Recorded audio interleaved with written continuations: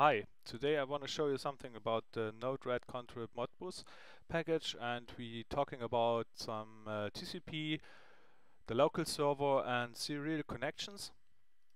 First we have the TCP. TCP server at the local is a standard way with uh, this port um, and the response on uh, 100 milliseconds. You can play around with, you can say okay 10 milliseconds or it uh, takes 10 seconds, whatever, before the server responding to your um, test. So with this you can play around to test how your flow works with uh, more delay in responding from the device. But first we are working with 100 milliseconds, with this, uh, which is uh, mostly the time we can uh, reach. Um, very good devices um, or expensive device are, are working with uh, 50 or 10 milliseconds. Whoop.